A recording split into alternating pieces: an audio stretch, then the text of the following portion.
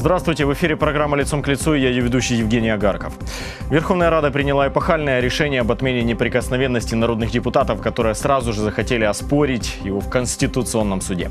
Почему это голосование еще долго будет яблоком раздора и кому это выгодно на самом деле? На эти вопросы сегодня ответит профессор политологии Киевского национального университета а, Киево-Могилянской академии и научный директор фонда «Демократические инициативы» имени Илька Кучерева Алексей Гарань.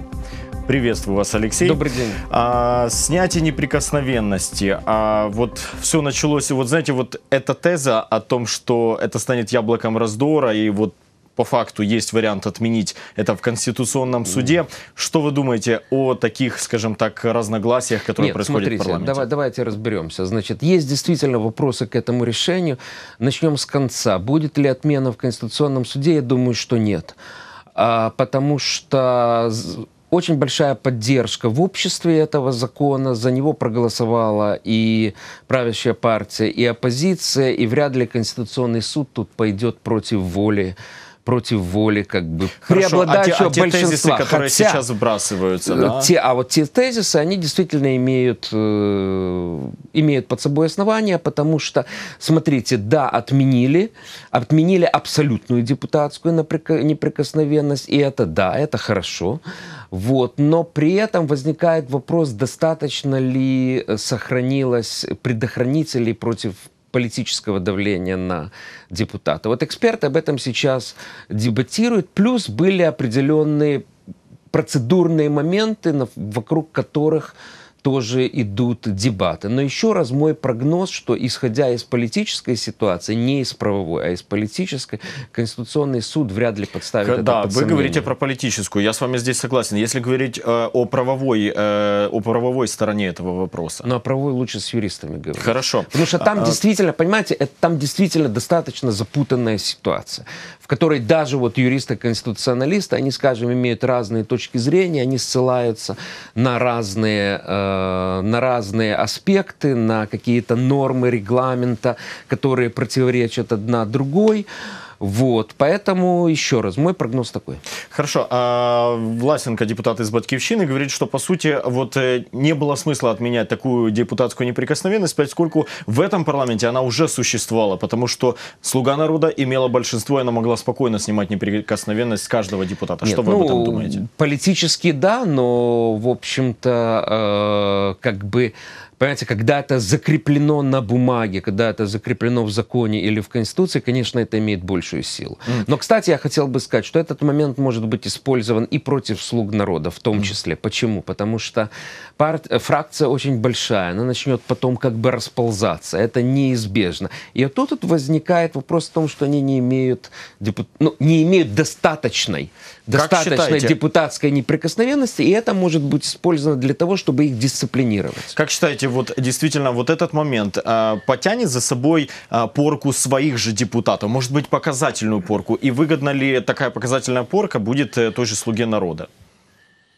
Ну, смотрите, показательно они, в плохом смысле этого слова, они назначили министром внутренних дел Авакова, да, то есть старое лицо, то есть это полностью противоречит тем обещаниям, которые Иначе давал Порошенко Зеленский. нападет. Да, э, это смешно слушать. Я, да. Я, это, это да, было ну да, да. Это, это мем, да. А, вот, это полностью противоречит тому, что говорил Зеленский в ходе кампании еще президентской, а тем более парламентской. Но он сохранил Авакова, хотя Аваков, в общем-то, провалил полицейскую реформу. А скажите, а вот то, что он сохранил Авакова, но при этом пытается забрать национальную э, гвардию, скажем так, э, под, чтобы она была под ведомством президента, это ход для того, чтобы ослабить вертикаль Авакова, или как это можно э, назвать? Ну да, конечно, но опять же тут, понимаете, тут речь идет о расширении полномочий президента да, потому что когда-то это было так, потом мы перешли к другой модели, и э, Сейчас это, в общем-то, больше регулируется именно Министерством внутренних дел и Кабмином, но мы видим также, что Зеленский хочет и другие полномочия, в частности, создавать регуляторные органы, а это уже, скажем, сфера Кабмина. Угу. Возникает Она вопрос, зачем назначение это... глав зачем ДБ, ДБР и Да, назначение подобное. глав ДБР и НАБУ. То есть, на самом деле, это расширение президентских полномочий. И эксперты, в общем-то, этим обеспокоены. А в чем здесь минусы? Ну, минусы в том, что э, полномочия президента четко выписаны в Конституции. Да? Его люди избирали с одними полномочиями, он сейчас как бы расширяет свои полномочия. То есть потом вопрос, говорить вопрос... о парламентско-президентской э, республике уже будет, ну, как бы не будет смысла. Ну, э, понимаете, это же вода же камень точит, да, с, немножко расширили тут, немножко расширили тут, тут, тут, и в какой-то момент это может существенно угу. расширить полномочия президента. А Во если... всяком случае, создавать регуляторные органы, которые будут связаны с экономикой, это точно вмешательство в сферу полномочий Кабмина. А у нас сейчас Кабмин формально по Конституции, он формируется независимо от президента, он не подотчетен президенту. И экономическая сфера ответственности – это Кабмин. А президент пусть занимается тем, что у него написано. Это национальная безопасность и внешняя политика. А, давайте поговорим о снятии неприкосновенности самого президента. Поскольку э, Руслан Стефанчук заявил о том, что такой законопроект рассмотрят на следующей неделе, а как вы считаете, необходимо ли снимать неприкосновенность президента? Смотрите, нужно сделать, нужно сделать процедуру импичмента реалистической.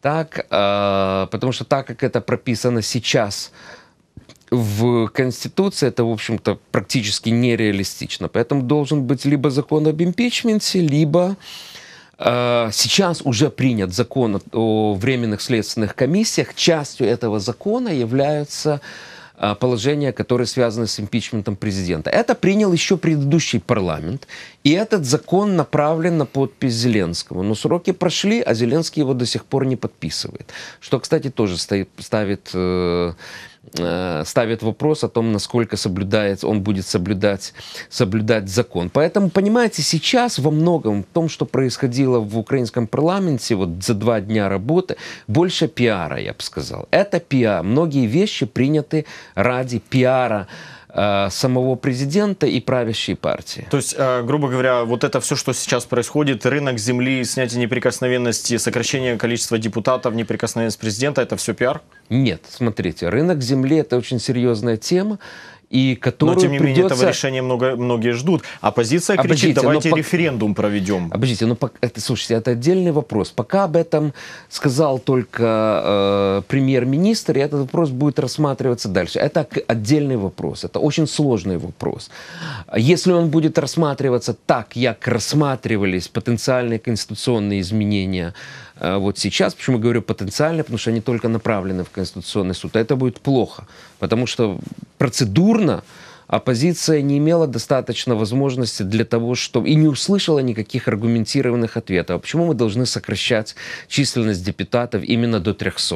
Ну, да, потому, а что, потому что говорят, что якобы, ну, у партии «Слуга народа» говорят, что якобы сократилось количество населения, соответственно, ну и плюс э, следующие э, через выборы, да, у нас уже не будет мажоритарной системы, соответственно, таким образом. А вы знаете, какая у нас будет система? Написано, вот они говорят, что будет пропорциональная, пропорциональная система. Да. А когда им говорят, что давайте Э, что обещал президент Зеленский? С открытыми списками. Давайте напишем. Вы хотите написать, что будет пропорциональная система в Конституции? Окей, нет проблем.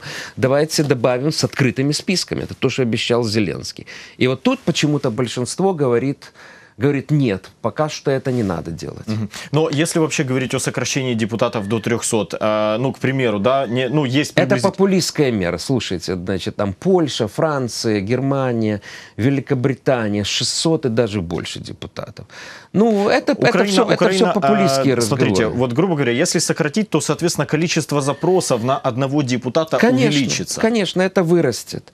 В общем-то, основной аргумент, что будет меньше лоботрясов, значит, будет больше э, люди будут... Мы, мы на этом э, сможем сэкономить средств. Это популизм чистейшей воды.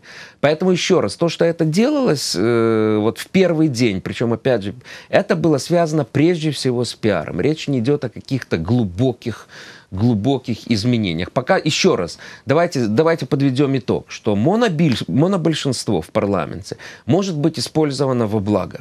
Так, то есть могут приниматься непопулярные вещи, в том числе, которые, скажем, связаны с рынком земли. Да?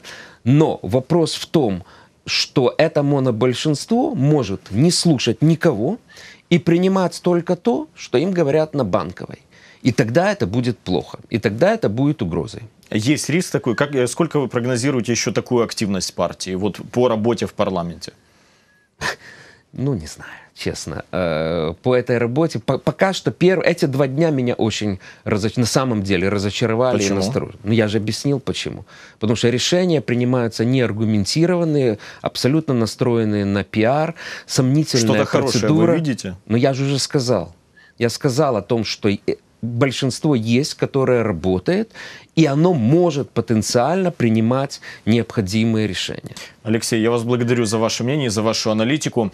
Гостем программы «Лицом к лицу» был профессор политологии Национального университета Киево-Могилянской академии и научный директор фонда «Демократические инициативы» имени Илька Кучерева Алексей Гарань. Я, Евгений Агарков, прощаюсь с вами до новых встреч на ЮАТВ.